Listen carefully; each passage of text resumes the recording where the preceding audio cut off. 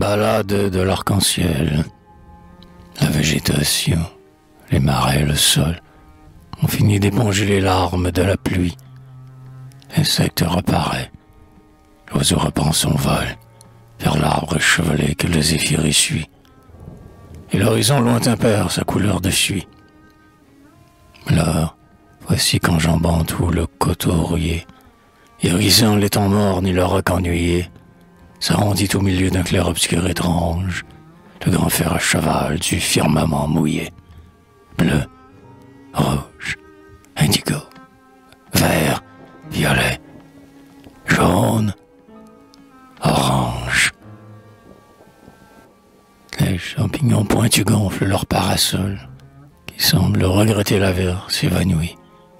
Les grillons chantent en ut et la rainette en sol mêlant leur voix sa stupeur inouïe. Le soir laisse rêver la terre épanouie. Puis, sous l'arche de pont du ciel émerveillé, un troupeau de brouillards passe tout effrayé. Le donjon se recule et de vapeurs se franchent, et le soleil vécu meurt lentement noyé.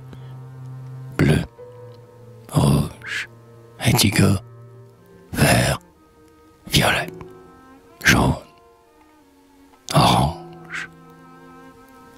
tandis que dans l'air pur grisant comme l'alcool, monte l'âcre fraîcheur de la mare bleue, et les hennissements des poulains sans licol, le suprême sanglot de la lumière enfuie, va s'exhaler au fond de la nuit éblouie. Et sur l'eau que le sol a l'air de supplier, du cerisier sanglant l'ocre plié, dans une paix mystique et que rien ne dérange, on voit s'effacer l'arc impossible à plier. Bleu, rouge, indigo, vert, violet, jaune, orange. Oh toi, le cœur sur qui mon cœur s'est appuyé, dans l'orage du sort qui m'a terrifié, quand tu m'es apparu en rêve comme un ange. Devant mes yeux chagrin l'arc-en-ciel a brillé.